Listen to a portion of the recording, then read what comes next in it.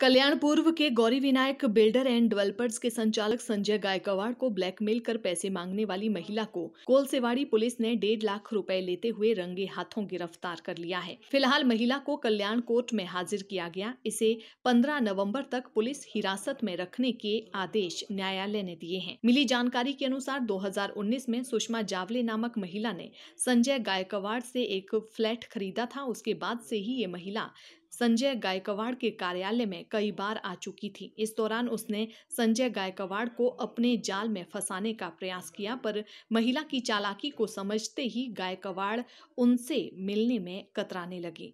अपनी दाल गलती ना देख महिला ने गायकवाड़ को बलात्कार के केस में फंसाने की धमकी देते हुए उनसे अब तक लाखों रुपए ऐंठ लिए। बताया जा रहा है कि संजय गायकवाड़ ने महिला सुषमा के खिलाफ ब्लैकमेल कर पैसे मांगने की शिकायत भी कोलसेवाड़ी पुलिस स्टेशन में एक महीने पहले दर्ज करवाई थी। एक बार फिर से सुषमा ने डेढ़ लाख रुपए की मांग गायकवाड़ से की, जिसकी जानकारी गायकवाड़ ने पुलिस को दी और पुलिस ने महिला को पैसे लेते हुए रंगे हाथों गिरफ़्तार कर लिया। महिला को कल्याण कोर्ट में हाजिर किया गया। इसे पंद्रह नवंबर तक पुलिस हिरासत में रखने के आदेश कोर्ट ने दिए हैं।